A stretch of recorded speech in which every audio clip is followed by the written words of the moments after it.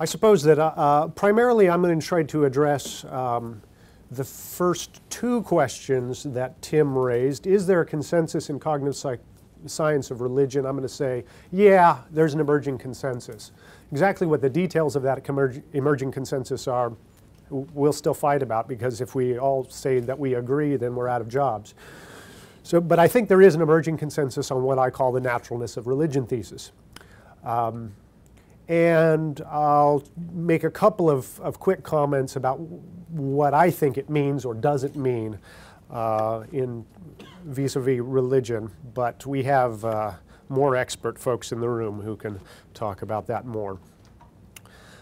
Um, Jesse Bering has a, has a book that's just come out about a month or two ago called The Belief Instinct. His and Robert McCauley's forthcoming Why Religion is Natural and Science Isn't are two of a number of published works promoting what I'm calling the naturalness of religion thesis. Bec- and basically, that thesis is this.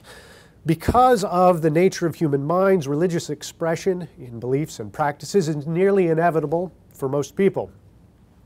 And so in this paper, I'll sketch the sorts of reasons that lead scholars to conclude that religion is natural and then offer a few comments about that. Um, I won't dwell on it too much. Uh, it's already been mentioned. I'm not real fond of the uh, term hardwired or the term innate. Uh, occasionally you'll see journalists saying, oh, Barrett says that we are hardwired for belief in God, capital G. And I've never said any such thing or that uh, children are innate, innate uh, believers in God. No, I don't say that either. Um, I think a more helpful term is, is, a concept that's been developed recently by Robert McCauley, uh, who's a philosopher of cognitive science at Emory University and also one of the founding fathers, if we can say that, of the cognitive science of religion. He uses this term naturalness. And it, in particular, he's talking about cognitive naturalness. McCauley uses naturalness to refer to thought processes or behaviors that are characterized by ease, automaticity, and fluency. Okay? Those abilities that require little conscious attention or effort are natural in a sense. And you can see that that sort of maps onto the colloquial sense of natural. Um, speaking your native language, adding two plus two, walking even, natural uh, for us in this respect. McCauley goes on to observe that, there, that this kind of naturalness, this ease, automaticity, and fluency can come about in, about in two basic ways. Okay? The first he calls practice naturalness. And he calls it practice naturalness because there's, it seems to, uh, as, a, as an important component of it, have lots and lots of practice, training, tuition, and cultural support. So you get the fluency, automaticity, and ease, but this kind of naturalness requires some kind of explicit tuition typically, requires some kind of special artifacts, and by special here I just mean not available to everyone in every culture. Okay? So not that there have to be some artifacts, but special artifacts. If I'm going to learn how to ride a bicycle and I'm going to develop automaticity, ease with that, I need a bicycle. That's a special artifact because not everybody has access to a bicycle. Okay? Um, these are relatively late developing traits relative to the, uh, the other type of natural, naturalness we'll talk about. That is, you probably remember learning how to ride a bicycle. And that's what we mean by relatively late in human development. Probably after the first five years, or at least at some point that you can remember not having this trait. So you might remember when you learned how to do algebra, something that's probably not natural for most of us. But even if it is natural, you acquired that naturalness at some point in time that you remember maybe painfully. Okay? This is not a typo. I also, this is one sort of uh, feature that I've added to McCauley's list. Also, these tend to be traits that are relatively late developing in terms of human species development. Okay? That is, we know that there was a time that people were not bicycle riders, and it wasn't that long ago. You know, you know from a, a, when, when, when stepping back and taking a broad view. Okay? Whereas things like uh, human speech, well, that's been around an awful long time, okay, using language.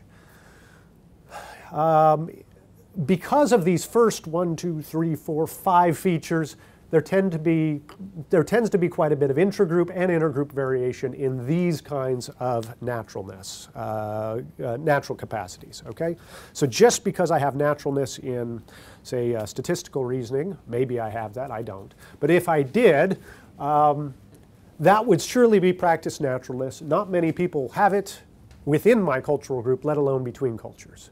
And it can make sense to uh, compare various cultures. We might say that, well, that people in Singapore are just better bicycle riders than people in uh, the United States. Okay? And it wouldn't be a dopey thing to say. It might not be true, but it wouldn't be dopey. But we might say, well, you know, the uh, Canadians are such such better walkers than the French. They just walk better. I mean, that's just a dopey thing to say. Or they speak their native language better. Well, that's, that's, that's odd, right? Because we're talking about sort of very subtle shades at that point. Um, anyway. All right.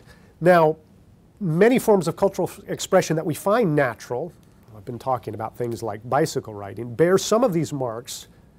Oh, sorry. I better talk about maturational naturalness first. I'm getting ahead of myself. In contrast to that practice naturalness, McCauley says, and then there's this other class of stuff these other capacities, these other propensities that we can identify as being natural, they've got that same fluency, automaticity, and ease. In that sense, they're natural. He's going to call these maturationally natural or talk about maturational naturalness. I know these are clunky terms. And for these, you typically don't need explicit tuition. You don't have to be told the grammar of English to speak English as a child. You just hear it spoken and boom, there it is. Okay? You might occasionally get explicit correction and so forth, but that's not critical. You don't need special artifacts typically. Okay? I don't need any special tools to learn how to speak my native language or to add 2 plus 2 and things like that.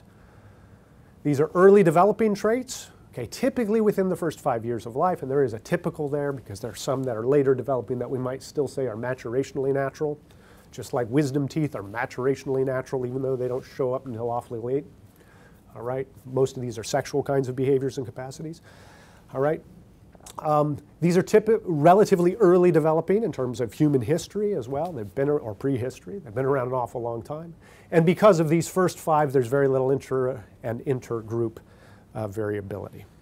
All right. So walking, talking, adding small numbers are examples of maturational naturalness. Of course, many of the forms of cultural expression that we find natural bear some marks to both the practice and maturational naturalness. Literacy, as an example, requires practice, training, tuition, and writing tools, for instance. But it can get so automatic and so fluent that it's hard to turn off, which Stroop tasks, if you're familiar with those, are a wonderful example of. All right. So really what we're talking about when we're, when we're getting to the level of cultural expression is some kind of a continuum. Okay? that now on the uh, left-hand side I've got the really, the, what we might think of as the predominantly maturationally natural kind of stuff, and over here we've got practice natural, naturalness. And I'm, for the sake of simplicity and linguistic economy, I'm just going to call those natural. I'm going to call this expertise. Okay? So this is where I'm breaking from McCauley's usage, because I think this is simpler. And I checked it out with him, and he said, yeah, that'll, that'll do. Okay, this is pretty close to what he calls expertise. All right, and the reason I'm, I've made this wedge shaped is because once you get down onto this expertise end, you don't have a lot of people expressing this. Okay, in any form, let alone in a, in a fluent, automatic, easy sense. So it's really hard to do modern science with any kind of expertise, okay, with any kind of automaticity or fluency. Hard to do chess. Literacy may be somewhere in the middle. Speaking your native language, piece of cake. All right? Lots of people do that. Okay, that's why the, the wedge is, is wider here. And you'll see where I've placed religion, down on that end. Okay? My suggestion is that it bears many of the marks of being maturationally natural. Okay? Though many, if not all, forms of expression we call cultural shows, both of these signs of both uh, practice and maturational, nat, mat, sorry, maturational naturalness, not all cognitive systems that underlie these forms of expression have this dual character. Okay, so some cognitive capacities, as opposed to the cultural expression that rides on the back of them, are decidedly maturationally natural. And so when I build the case for why is it that I put religion down on that end, I'm going to focus on those maturational cognitive, maturationally natural cognitive capacities that underlie religion, not the expertise related ones. Okay? And McCauley gives us, in addition to that list, he gives us sort of a good rule of thumb for what's maturationally natural. Uh, a, cogn a, cognitive capacity that's maturationally natural, and that's um, if your child doesn't have it by the time they're about five, you might call the doctor. So if your child isn't speaking by the time they're five, you might think, ooh, something's wrong, right? They're lacking something maturationally natural. So if your child can't play chess by the age of five, even though you've taught them and you've tried to get them to practice and they just can't pull it off, uh, at least not with any fluency, you're not worried.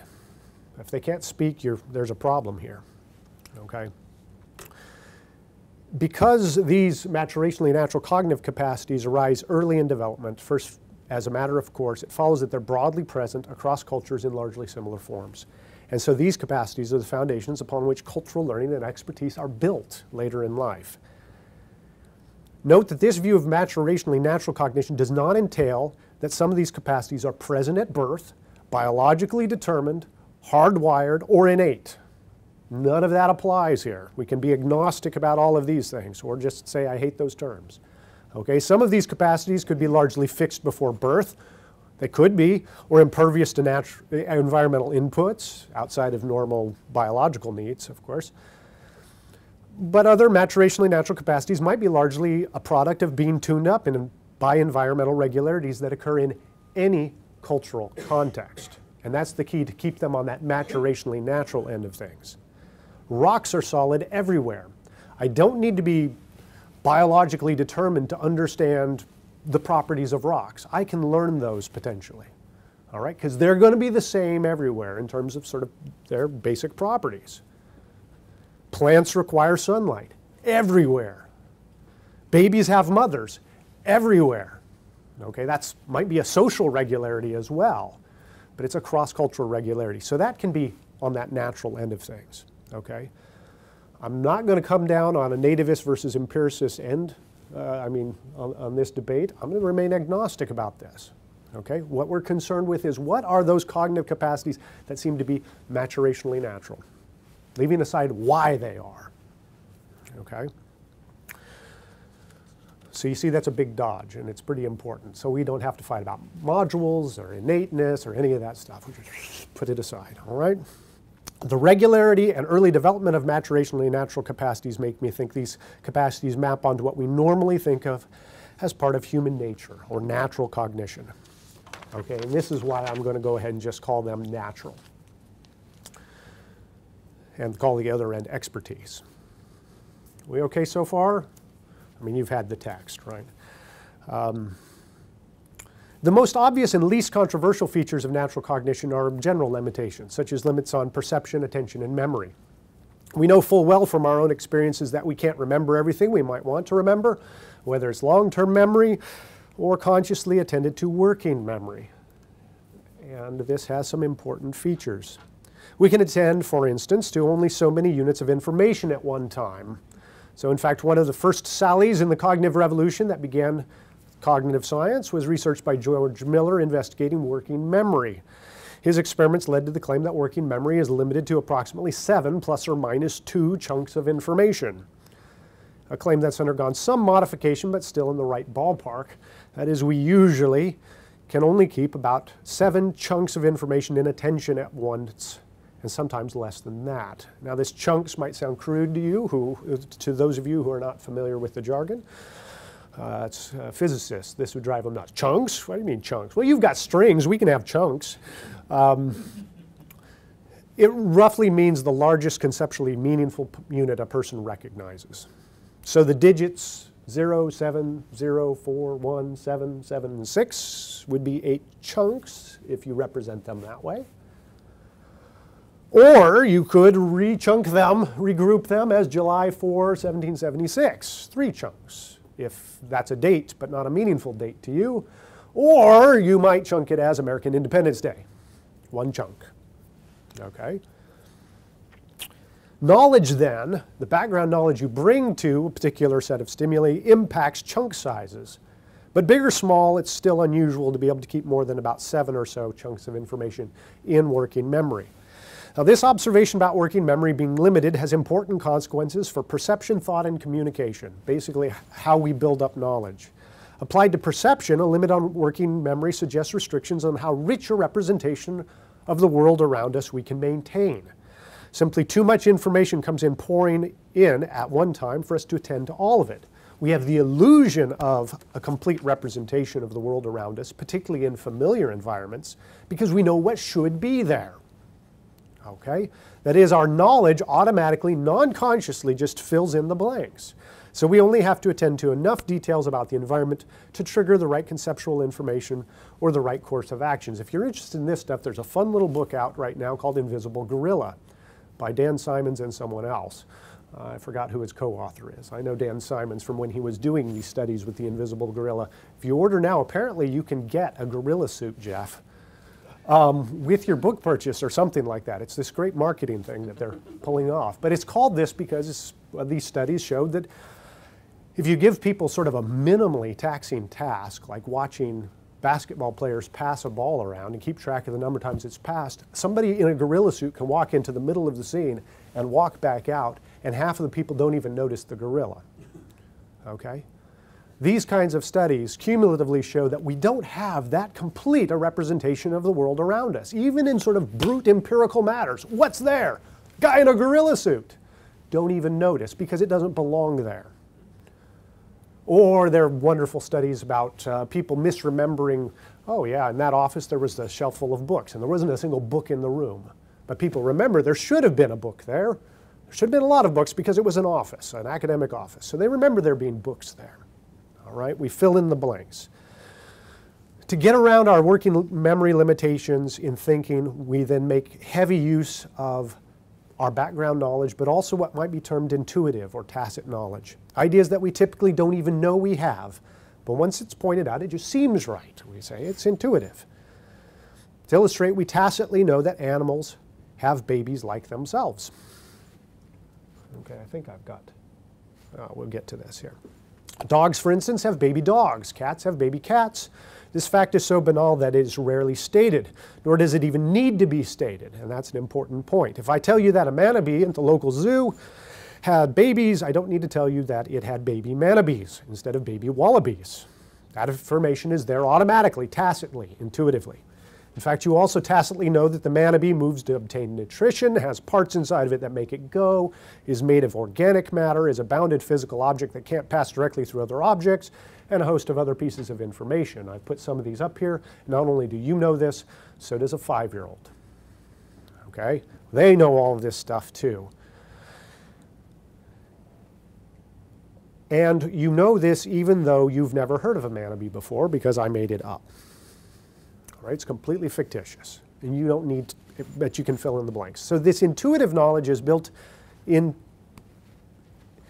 helps chunk anything else you learn about Manabee. All right, it fills in the blanks so it doesn't take up precious memory, working memory space. Right? You don't have to, when I say, oh yeah, the local zoo had Manabee, I don't have to detail all these things for you for us to have efficient communication. It's just boom, automatically. This extra conceptual information gets smuggled in free of charge to working memory. And because of this, it serves as an important prop for communication. Real-time, face-to-face verbal communication makes working memory demands that could easily outstrip seven plus or minus two chunks, if not for conceptual information that can be assumed and make bigger chunks. Okay? So, I don't have to tell you that the manabee, once I tell you that the manabee at the local zoo gave birth, I don't have to tell you that it grows, requires food, and the rest. I only need to communicate enough information to trigger this conceptual background information and trust your mind to fill in the rest. All right, but if I'm trying to tell you something that you don't naturally possess background conceptual information about, then I've got to specify it. Okay? I have the increased burden of detailing all this information, and you have the burden of keeping enough in it, enough of it in working memory at that time that it can be comprehended and encoded into long-term memory for you to later use. It follows that ideas that are largely composed of conceptual building materials we already have are more easily and readily communicated. Ideas that deviate from our intuitive knowledge require more effort, attention, and repetition, or other, what you might think of as devices, for successful communication. All right. So my argument in, in short then is religion spreads well, it's everywhere, because it's using all of this sort of already available kind of information. All right, this intuitive knowledge that's there. In contrast then to the general cognition, these working memory limitations, we, all, we have these limitations and tendencies when it comes to specific domains of content, what might be called content-specific cognition. So not all information about all topics is treated the same way. And in my experience, this claim is more surprising and more controversial. So allow me to provide two examples to make the point. I feel like I have to do this in almost every talk, convince people, because there's always at least one of you in the room who's not going to believe me all right? Um, usually anthropologists don't believe this at all, right? Isn't this right, Rich? Uh, sociologists don't, a lot of psychologists don't believe it. So here we go, all right. Humans and monkeys have a natural disposition to become afraid of snakes. There's one example. It's very easy for a person to become afraid of snakes compared to flowers or butterflies. That is, becoming afraid of flowers or butterflies. Okay, so people have been shown to rapidly detect snake-like objects and to be readily conditioned to fear snakes, even when they're not consciously aware of having seen the snake. Infants readily associate snake, snakes with fearful stimuli. When presented with a photo of a snake and another animal, like a hippo or something, and they hear a voice speaking in a frightened tone, the content doesn't matter, this is an infant, they don't have language yet, they preferentially look at the snake not the other picture. But not when the voice uses a happy tone. Oh. If you suspect that this rapid fire association is due to cultural proclivities or particularities, consider this. Monkeys ra raised without exposure to snakes in captivity can acquire a long-lasting fear of snakes merely by watching another monkey react in fear to a snake. One time. That's, that'll do the job. I have to put this in because I think the last time I gave this kind of talk, somebody said, no, people are afraid of snakes because of patriarchal society, and I gave this big story. No, that's not it. we don't need to go there. Okay? But you can't readily condition someone to become afraid of flowers, or a monkey for that matter. All right? And why might this be? Of course, we can spend some kind of adaptationist story. Um, you know, that it's good to avoid these guys because they're not terribly good for eating, but they're terribly dangerous if they're the wrong type, yada, yada. Okay? So we seem to have some kind of a natural proclivity or bias to become afraid of snakes. And maybe this was an adaptation of some sort. All right, that's a content-specific kind of area. It has nothing to do with general working memory limitations. It has to do with a particular kind of area. Things to be afraid of. Here's another example. Newborn babies differentially detect faces and imitate their expressions. From immediately following birth, within hours of birth, human babies already attend more to human faces in their environment as compared with other sorts of things out there. The baby in the delivery room bassinet would rather look at mother's face than a pile of rags, or the colorful wallpaper, or the nearby sphygmomanometer, right? Even more surprising is that within a few hours after birth, babies can imitate some facial expressions, such as sticking out the tongue or some of these others. All right? And think about what's involved with this. Among the blurry mass of novel stimuli, right, this is a baby fresh out of the birth canal. A baby detects something in her environment, the face, maps the thing's appearance and movement onto her own facial musculature to create a comparable expression. Now there's a lot of excitement over mirror neurons as the mechanism that does this kind of thing, maybe, maybe not. But the point is this, the baby doesn't even know it has a face, right? It's got lousy visual acuity and yet it's doing this kind of thing. Spotting and recognizing other human faces is terribly important for human social success. And so having some natural biases that give an advantage in processing faces as compared with, say, trees, potatoes, or the faces of cows and chickens would be helpful. All right, and so most of us have it. And I do say most of us, apparently there's a small percentage of the population who don't have this. so you just have to learn it. Um, oh, and by the way, there's, there's also within 24 hours of birth, there's a sex difference here. Okay, that little girls, babies in particular, like to look at faces more than little boy babies do. That's not because of patriarchal societies either, as far as we can tell. I mean, it's okay. This content-specific facility with human faces persists into adulthood. All right, and that's the point. With a lot of these content-specific biases or tendencies or dispositions, they end up structuring the rest of learning throughout life. Okay, these two areas then of content-specific natural cognitive bias are just the tip of the iceberg. But I hope they illustrate the key point. The mind as a whole is not helpfully compared to a blank slate only limited by capacity. Rather, our minds preferentially attend to and differentially process some types of information over others, handling different domains of information in different ways.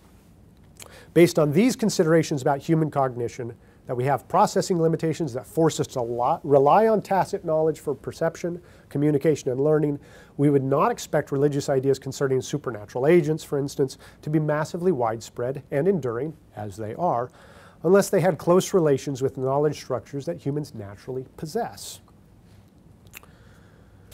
Reflective beliefs, whoops, we'll get to that. Um, now, that's just about what things you think about and can communicate well. But of course, people don't just think about religious ideas like they think about folk tales or fairy tales and things like that, but they actually have these beliefs, which actually turns out to be a very short step from entertaining ideas a lot or them to be intuitive seeming and believing them. Our consciously entertained and affirmed ideas and propositions oftentimes are obtained through the automatic deliverances of these intuitions. In fact, maybe that's how it happens most of the time uh, philosophers aside. Of course, they don't do that ever. Um, but as Nobel laureate Daniel Kahneman's work has shown, if an idea readily comes to mind, it has that familiar intuitive ring, it seems right to us and we're inclined to accept it, what he calls accessibility bias.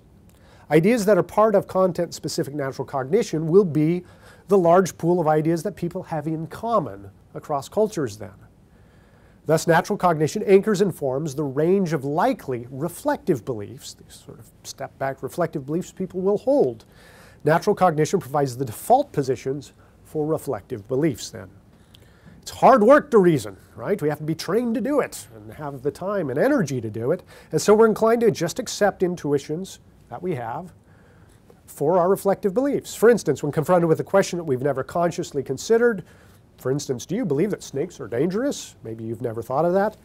You might have no explicit reflective belief one way or the other, but you need to come to a decision. So unless relevant information, such as from previous education in zoology, comes to mind, most likely reflective belief will be that option that's consistent with rele relevant natural cognition. If thinking about snakes triggers an association with fear and danger, as is often the case, then the non-reflective intuition, snakes are scary, seems right, and serves as a starting point or default for the reflective belief, snakes are scary and dangerous. How about the question of whether or not people have conscious thoughts? Maybe it's never occurred to me to think explicitly about whether other people have conscious thoughts, and I've not been exposed to related philosophical ruminations or philosophy of mind problems in this regard. So how do I form the reflective belief? On the subject? Well, I tap my intuitions and discover the intuitive idea people have conscious minds. Finding no reason to reject or override such an intuition, I accept it, at least initially, as my reflective belief. In the absence of salience, relevant, consciously accessible reasons not to do so, reflective beliefs are simply read off of natural intuitions. For more complex propositions, or those not immediately delivered by our natural cognition, credence increases with the cumulative support of various ideas automatically delivered by natural cognition.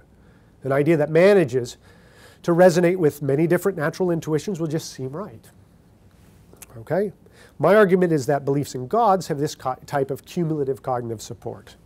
So then I better get to what are some of the features of a natural cognition that seem to be particularly important for religious ideas and hence make religion natural. Cognitive scientists of religion have identified a number of features that collaborate to make religion natural, particularly the way we identify intentional agents, the way we reason about minds and bodies, and our tendency to search for purpose in the natural world. Okay, importantly, all our cognitive faculties that are foundational for the way humans make sense of the world and life in it. These aren't add ons, these aren't expendable. These faculties just are sort of intrinsic to how humans operate. I'll just focus on uh, these five very quickly uh, that are highlighted here. Humans have a strong natural propensity to focus particular attention on the difference between the actors and the props of the world, or between agents and objects. By agents, I mean persons, minded beings that act based on mental states, such as beliefs, desires, and percepts. From infancy, babies are sensitive to this difference between agents and objects. Arguably, as social beings, selective attention to agents and trying to understand and predict their actions is critically important for human thriving. For this reason, our cognitive systems for detecting agents and our system for thinking about actions might be especially eager to find those agents out there and find signs of agency. This hypertrophied social mind has been noted by many cognitive scientists of religion as playing a critical role in religious expression. In fact, I don't know any people who call themselves cognitive scientists of religion who do not think that sort of hypertrophied social mind is not important here. I think this is definitely a consensus position. Uh, Jesse Bering's new book, for instance, he thinks that's it. That's the whole story. Um, Stewart Guthrie can be argued to be saying this is the whole story right here. I've termed this system for detecting agents and their activity the, um, whoops, wrong way. I'm going the wrong way. How? Ooh, hey, how do I go the other way? Oh, I see. Move down. Sorry about that. All right, here we go. I've termed this system for detecting agents and their activity the Hypersensitive Agency Detection Device, or HADD. I apologize. Um, Evidence that humans have such a system and that it can be trigger, easily triggered is very strong. Uh, Stewart Guthrie has, so I won't, I won't convince you. Stewart Guthrie has argued that the human perceptual and conceptual tendency to human see human-like agents, that's Stewart down there, um, see human-like agents and agency everywhere, even in situations we later recant, as in shapes moving around a, uh, a broken rectangle there from Heider and Simmel. Um, is an example of a better safe than sorry kind of tuning, or what's become known as error management. Guthrie's argued that this tendency to find human-like agency where it does not actually exist sometimes is a primary generator of belief in gods. Okay, so we have had experiences, I like to call them, experiences in which we detect agency for which the type of agency is unclear. Uh, I'm detecting some agency here, but I don't know who done it. Uh, it doesn't seem like a human, doesn't seem like an animal I know. And then these sometimes get regarded as evidence of a god or gods. So our natural cognitive systems find minded agency even where there is not any and are likewise attracted to intentional explanations for natural events and states of affairs. Gods by these lights are false positives. But even if one is uncomfortable with Guthrie's decidedly dismissive approach concerning the possible existence of one or many gods, his general point, I think, is helpful. Our natural cognition readily applies purposeful, pers purposive and mentalistic construals to a broad range of objects, states, and events, even given only ambiguous evidence that mental agency is in fact at play. Note that if it didn't do this, we might not think each other have minds either. Right, so that, I mean, let the philosophers fight about that one.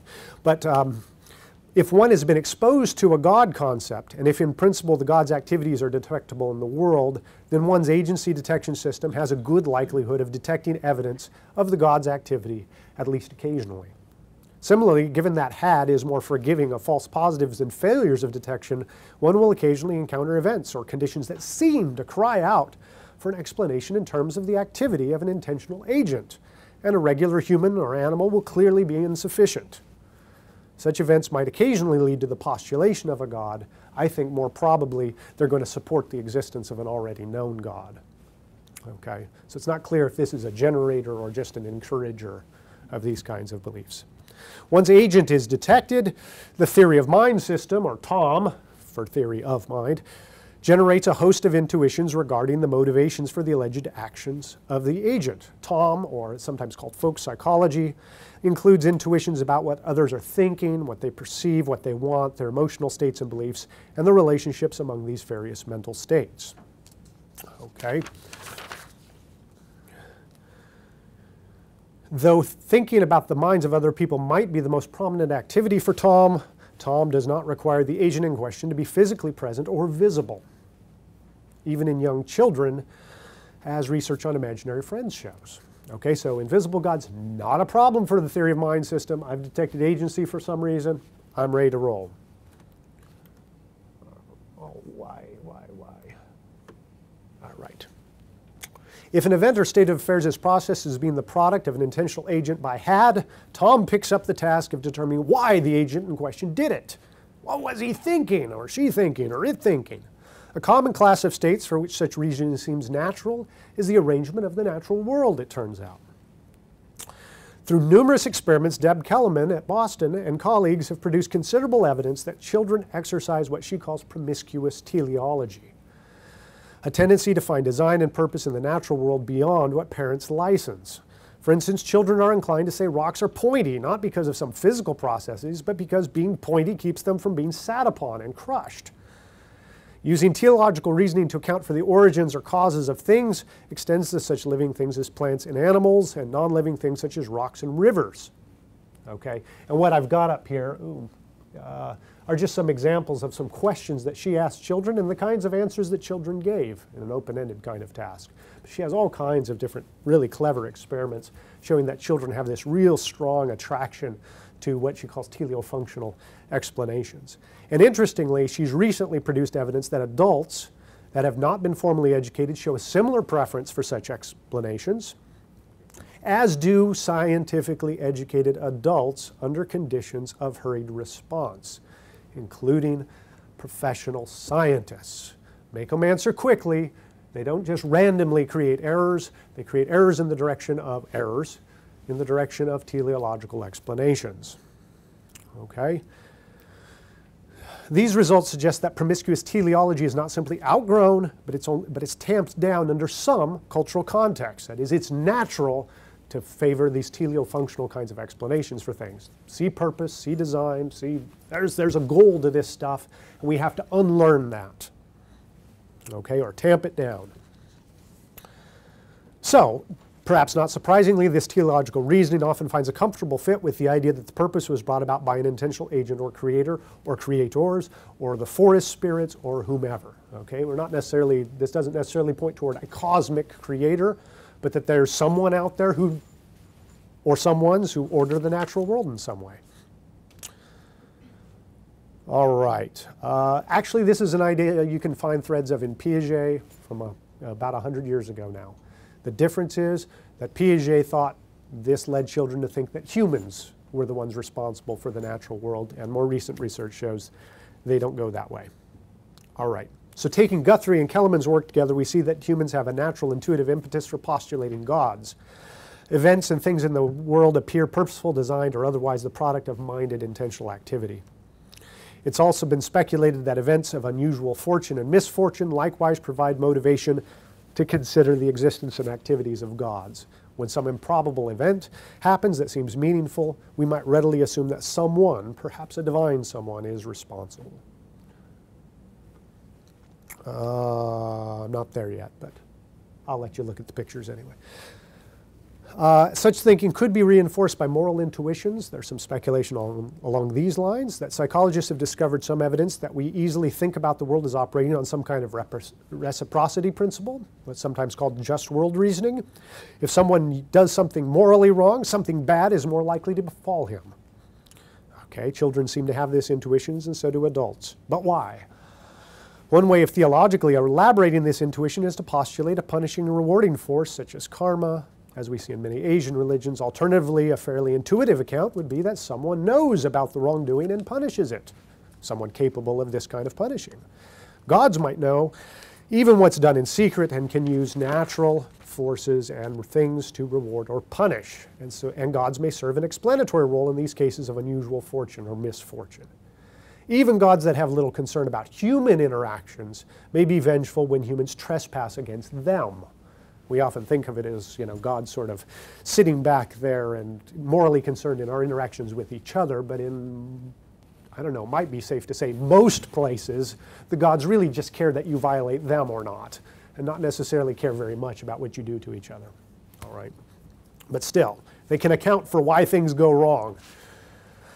The natural tendency is to see agency around us, to see purpose in the world, to demand explanation for uncommon fortune and misfortune, and to connect fortune or misfortune to reward and punishment, may conspire to make gods readily understandable and provide impetus for entertaining their existence and activities.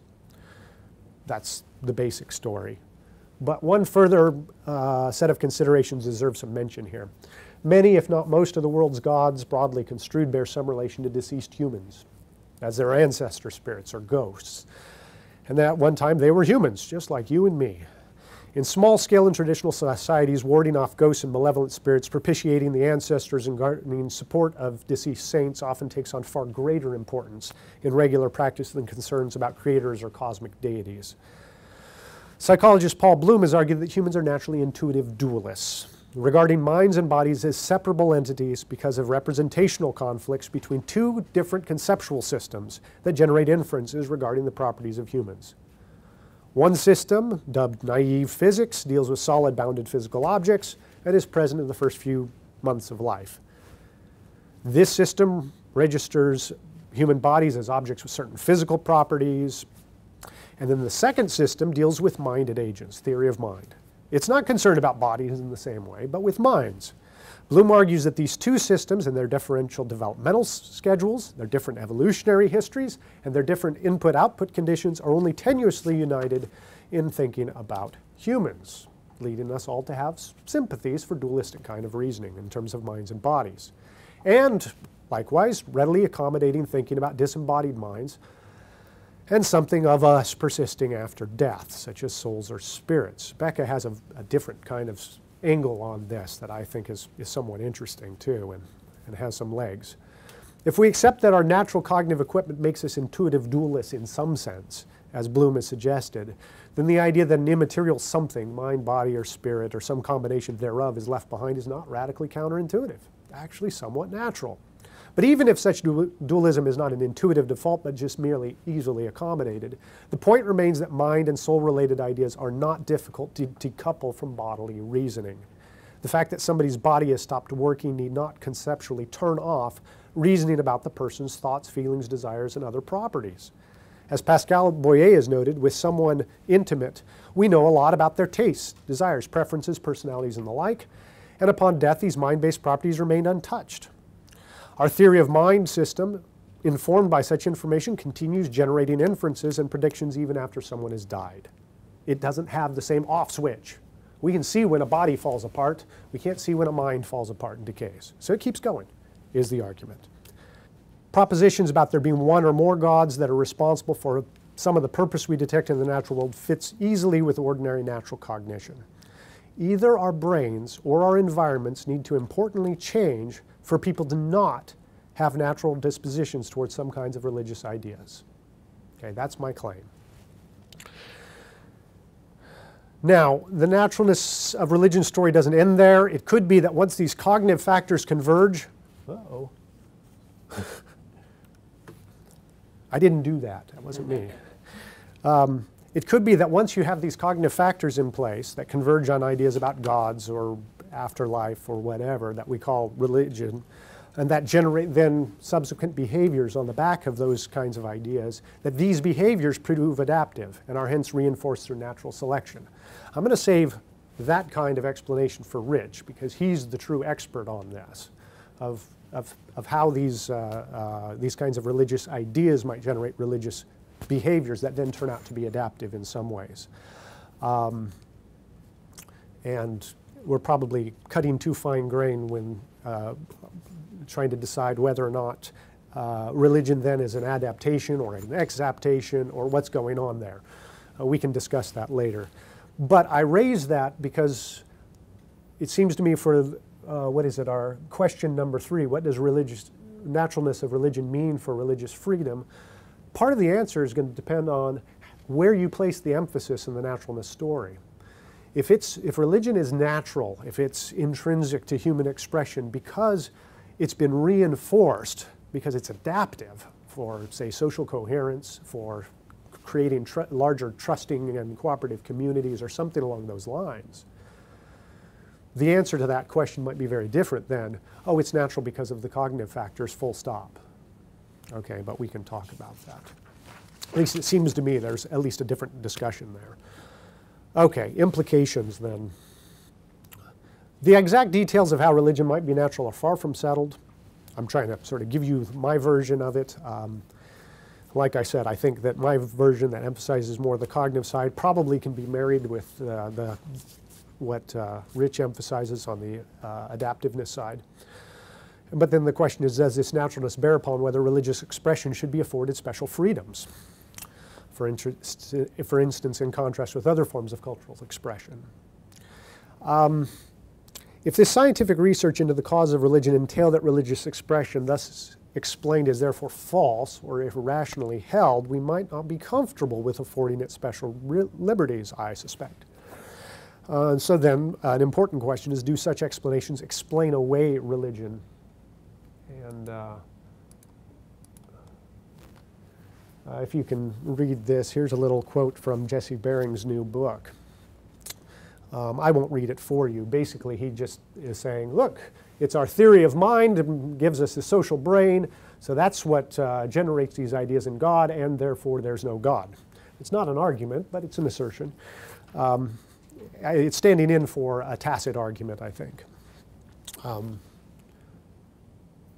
in fact, he ends there with this. It may feel as if there is something grander out there watching, knowing, caring, perhaps even judging, but in fact, that's just your overactive theory of mind. In reality, there is only the air you breathe. Um, and many new atheists drawing upon cognitive science of religion to attack religious belief seem to be committing, I think what they're committing is a version of the genetic fallacy that William James warned against at the start of his varieties of religious experience. So here's what James said. Um, the backdrop of this is James is noting that from methodological naturalism, all mental states have biopsychological cause. All of them. And identifying it says nothing one way or the other about whether they're good or useful or true. All right? So according to the general postulate of psychology just referred to, there's not a single one of our states of mind, high or low, healthy or morbid, that ha has not some organic process as its condition. Or we might say an evolutionary background for it. Scientific theories are organically conditioned just as much as religious emotions are, and if we only knew the facts intimately enough, we should doubtlessly see the liver determining the dicta of the sturdy atheist as decisively as it does those of the Methodist under conviction anxious about his soul. When it alters us in one way, the blood that percolates it, we get the Methodists. When in another way, we get the atheist form of mind, James says. He goes on to suggest that maybe uh, when our blood is at 103 degrees, we actually think more clearly, not less clearly, and all these things. And that really what we're coming down to is whether or not uh, it produces good kind of outputs that we can confirm or reject in some other way. For cognitive and evolutionary explanations of religion to bear upon whether one ought to believe, they need to do more than explain that the brain or evolution or cognition was involved with such belief. That just isn't new information, right? We all suspected that. Pointing out that these scientific findings imply that people would have religious beliefs whether or not they weren't tr were true won't do the job either. And uh, I think this, first, it's far from obvious to me at least, that this claim is an implication of the science at all. It could be that religious beliefs are a byproduct of evolved cognition only because of divine mind behind the natural order. And if there was no such God or gods or whatever it is, our minds and beliefs would be very different. We just don't know. Uh, second, a huge number of natural beliefs would be undercut by the same kind of logic. We appear to have a natural, evolved dispositions to regard others as having minds, causation to be unidirectional and real, color to be a real quality of objects, and so on. Arguably, we would and sometimes do believe such things whether or not they were true. If so, should we jettison such beliefs as well? And maybe, I mean, some cognitive scientists argue, yes, we should. Um, but if we do, will we have enough pre-scientific commitments available to get the scientific enterprise that allegedly undercut such commitments off the ground? So I'll leave it to the uh, philosophers of science to worry about that one, but I suspect not is the answer. So arguments from the naturalness of religion against religion need to show that the psychological antecedents are untrustworthy or otherwise suspect in their belief-forming activities, not just that they are. Just, just pointing that they exist, not enough. Need to show that they're suspect or untrustworthy, and it isn't clear that one can do this without already taking some stand on the quality of their products. Consider a household scale. I might suspect that it gives a bad reading for a number of reasons, but I can't determine that it's in fact error prone without independently determining the weight of an object and then showing that the scale does not give its true weight. Just dropping a bag of potatoes on the scale saying, see, the scale says 10 kilos, that's not right. This scale is no good would only be convincing if we already knew that the sack of potatoes does not, in fact, weigh 10 kilos. If our cognitive systems weigh our experiences and conclude that, conclude that there's at least one God out there, we can't take this conclusion as evidence that the cognitive systems are mistaken unless we have independent reason to think that there are no gods. That'd be question begging, right? Indeed, normally we would regard such a weighing as evidence that there is at least one God. If we weigh our experiences and we come to the conclusion that there's a God, usually we take those intuitions at face value. Indeed, uh, reflecting on recent findings from the cognitive science of religion, contemporary theologian John Calvin writes, uh, there is within the human mind, and indeed by natural instinct, an awareness of divinity. This we take to be beyond controversy. God himself has implanted in all men a certain understanding of his divine majesty. Ever renewing its memory, he repeatedly sheds fresh drops Indeed, the perversity of the impious, who, though they struggle furiously, are unable to extricate themselves from the fear of God, is abundant testimony that this conviction, namely that there is some God, is naturally inborn in all, and is fixed deep within, as it were in the very marrow. As theologians often do, he's misreading this, the science. It doesn't say inborn. Maturationally natural, maybe, but not inborn.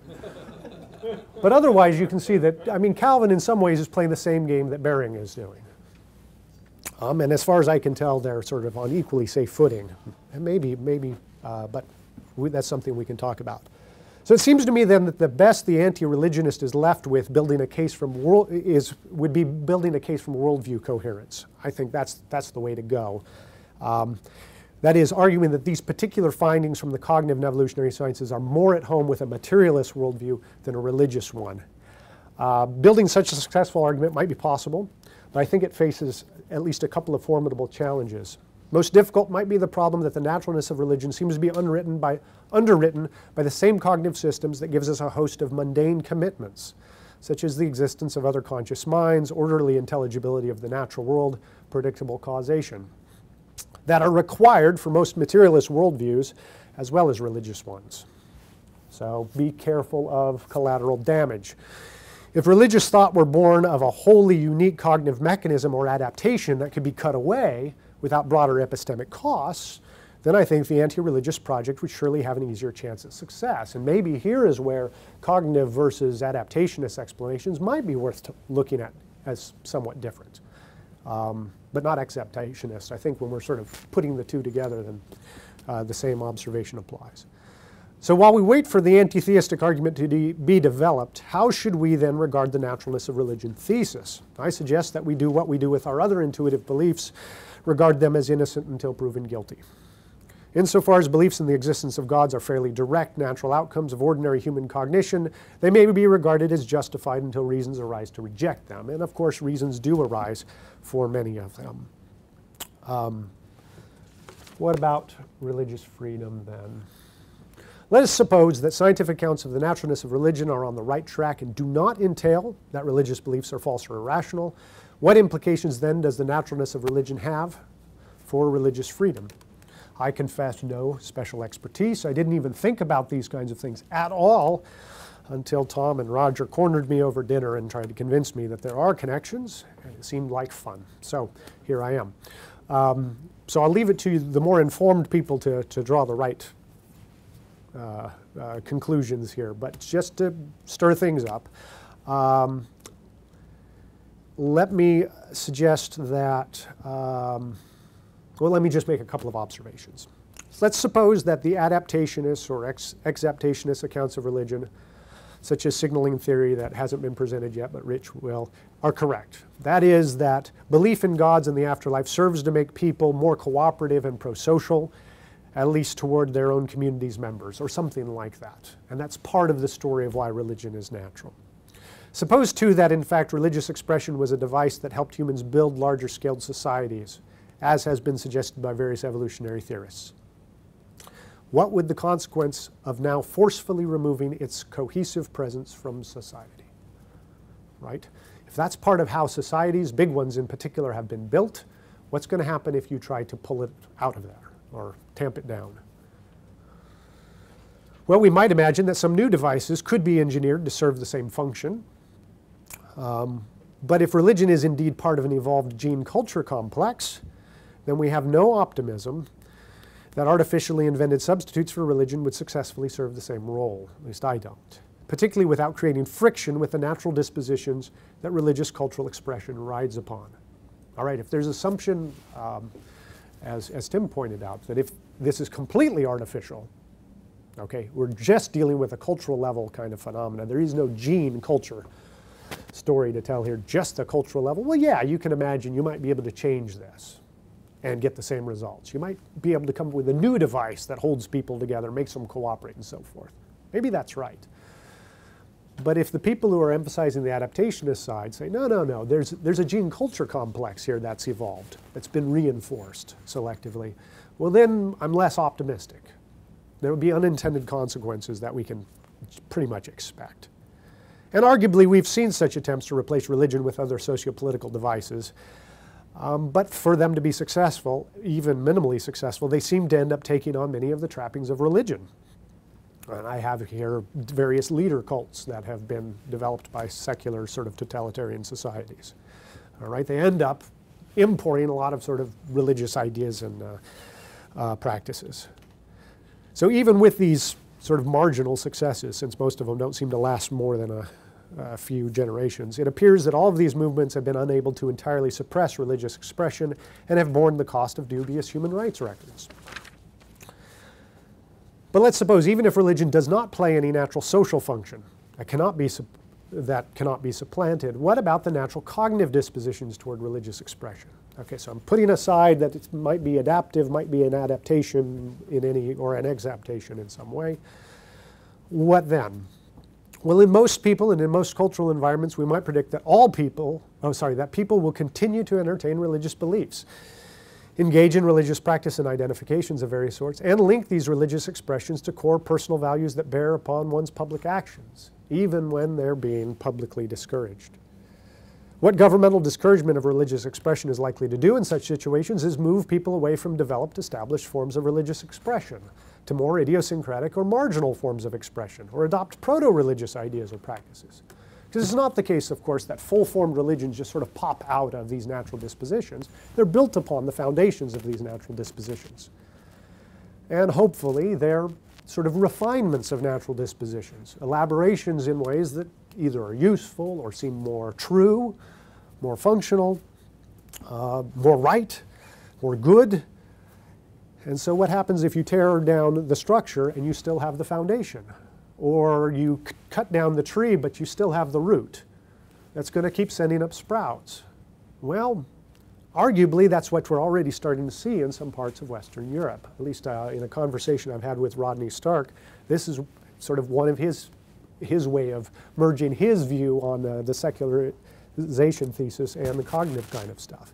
He reports evidence of this kind of shift taking place in secularized Western Europe. For instance, he says, look, in the last 30 years when we've seen this enormous move in the UK away from established religion, what do we see?